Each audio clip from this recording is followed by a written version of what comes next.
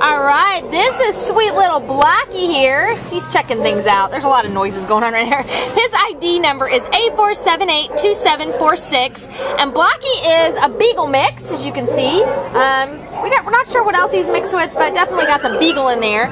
He is about four years old, and he came in as an owner surrender on December 8th, and we don't have a reason why he was surrendered here, but we can't imagine why, because he's just a sweet little guy. He only weighs 19 pounds, so he'd fit in pretty much in any situation, an apartment or a home, and he's been walking good on leash for us today. He's a little scared in this environment. He doesn't know why he's stuck in the shelter right now and away from um, his previous owners, but you know, we expect he's going to have a typical beagle-like personality when he gets out of here. You know, beagles are very intelligent um, dogs, and we expect he's going to be, you know, pretty gentle and even-tempered as beagles are, but also, you know, have a lot of fun to him. We can already tell he's curious and, and just going to be a happy, fun dog to be around. So if you're looking for a gorgeous little guy to make part of your family, then come on down and check out Blackie today at the Baldwin Park Shelter, and you can take this gorgeous guy home with you for the holidays, right, Blackie?